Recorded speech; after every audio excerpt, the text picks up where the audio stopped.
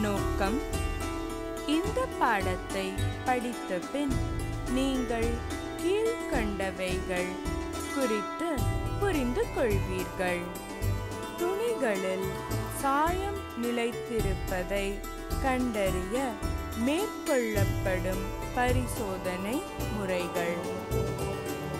துணிகளில் துவைத்தலின் போது நிலைத்திருத்தல் நிலைத்திருத்தல். ஊராய்வின் போது நிலைத்திருத்தல். குறித்து கண்டறியும் சோதனைகள் மற்றும் உபகரணங்கள்.